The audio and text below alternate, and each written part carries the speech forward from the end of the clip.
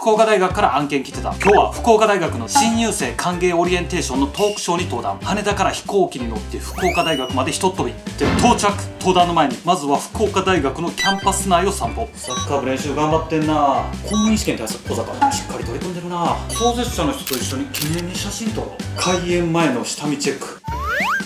これなんかお弁当いただいたけど、はい。自分どっちがいいの？うな重がいいです右の。これ、はい。俺も。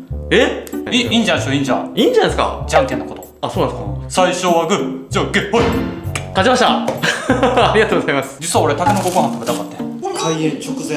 なんかむっちゃ緊張してきたな。岡野武史弁護士の登場です。皆様大きな拍手でお迎えください。どうぞ。